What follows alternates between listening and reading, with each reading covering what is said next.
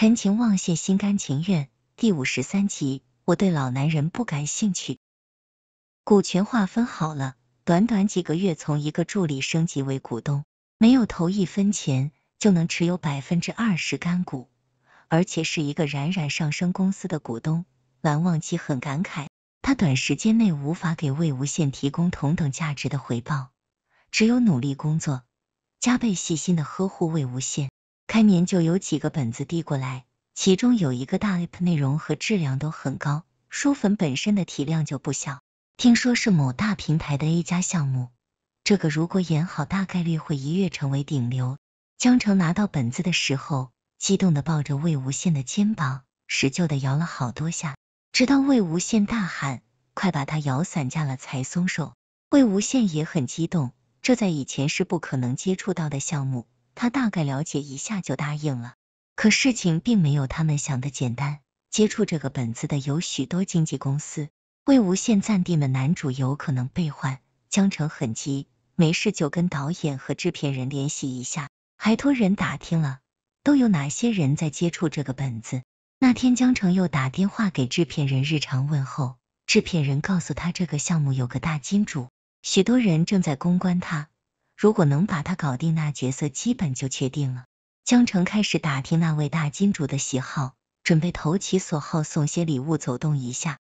结果打听一圈一无所获，金主十分低调，也很神秘，外界几乎不知道他有什么喜好。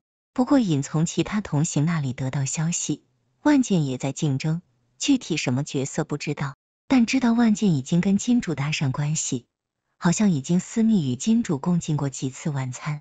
万剑的外形条件比魏无羡稍差一些，但比起许多同期鲜肉脸还是很能打的。自从魏无羡红了之后。万剑的经纪公司悄悄摸摸的给他捆绑着魏无羡，发了不少通稿，魏无羡都懒得理。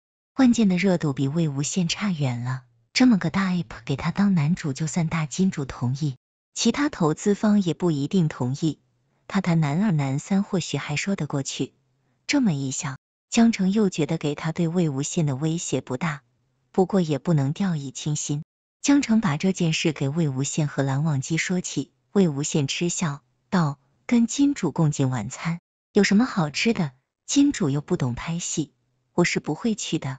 我对老男人不感兴趣。”蓝忘机立刻道：“嗯，如果金主是年轻的，就有兴趣了。”魏无羡笑：“我只对我的助理感兴趣。”江澄笑道：“你们能不能不要时刻撒狗粮，行不行啊？还有个第三者呢，真烦。”魏无羡收起笑容道：“除了这个项目。”其他的本子也都拿给我看看，不能把宝压一个上面。我是不会去搞定所谓的金主的，用什么搞定？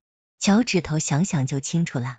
咱多大的腕就接多大的活，大投资不行就小的呗，有的赚就好。蓝忘机赞许地点头道：“嗯，我也这么觉得。金子会自带光芒，无需去讨好谁。”江城道：“看来万剑这下少不拿了个角色了，真能豁出去啊！”听说金主五十多了，万一你也定了，可能还要与他有交集，又要被他吸血了。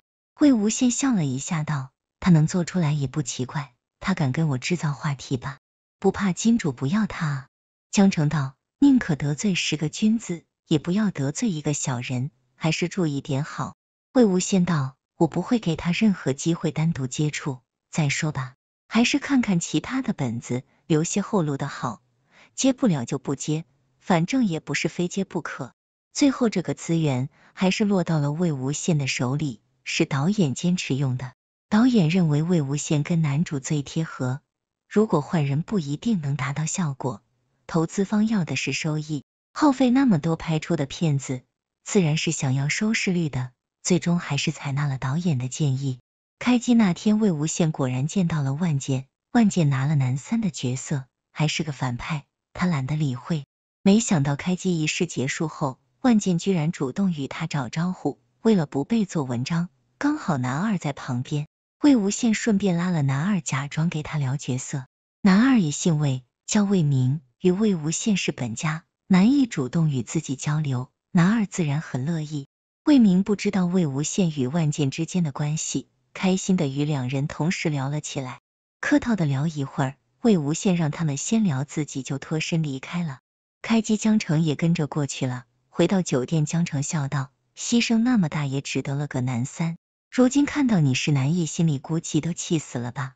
还能跟你称兄道弟，这演技了得。”魏无羡不屑的说：“管他呢，演好自己的就行了。”江城道：“男三大反派给你使了不少绊子，还有殴打囚禁你的桥段，你可要注意了，怕他公报私仇。”蓝忘机这些日子也一直在看剧本，虽是男三，戏份可不少，有许多与男主的对手戏，特别是前期男主很惨，被男三各种虐待，他的心不禁也提了起来，喃喃道：“现在退出也晚了。”魏无羡笑着看向他道：“都开机了，怎么能退？而且我是那种遇到困难就退缩的人吗？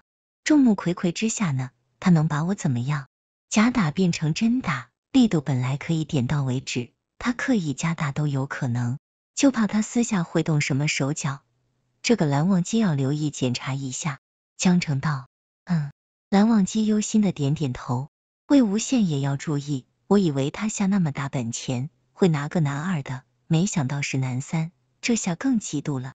江城道：“魏无羡无奈的笑了一下，道：没想到他会变成这样。如果他是一些不那么急功近利。”现在可能比我还红，他唱功在我之上的人，长期的发展肯定靠的是坚持和踏实，投机取巧也只能一时占上风，早晚会被打败。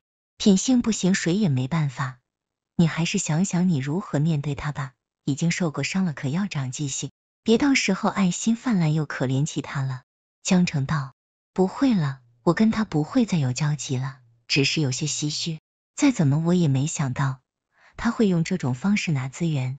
魏无羡道：“剧开拍，江城就回去了，蓝忘机留下来陪着魏无羡。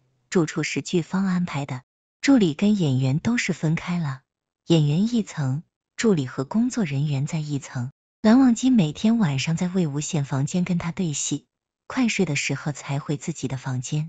那天晚上，蓝忘机跟魏无羡对完第二天的戏出来时，外套忘记拿了，魏无羡出来拿给他。”刚好被走廊里的万剑看到，魏无羡假装没看到，他准备转身回房，被万剑的声音拉住了。万剑皮笑肉不笑的说：“魏总真是好福气，助理真是尽心尽力，除了喂饭，其他的都全包了吧？哦，可能私下吃饭也喂呢。哎，羡慕这种关系啊。”走廊里也有其他人走动，听他这么说，不禁扭头看向魏无羡。蓝忘机扫了一眼周边，大声道。是不是因为你对助理太苛刻，所以他们才跟你关系比较远呢？人与人之间是相互的，心胸狭窄的人自然得不到别人的爱护。其他人又把目光转向了万剑。魏无羡平时没什么架子，无论是几番都跟人关系处得很好，而万剑自视清高，对比自己低的人基本不搭理的，人缘很差。被蓝忘机这么一说，就有人在那里笑了。万剑脸色陡然一变。有些气急败坏的说：“助理不经老板同意就随便乱叫，魏总公司都没有规矩吗？还是两人有某种不可说的关系呢？”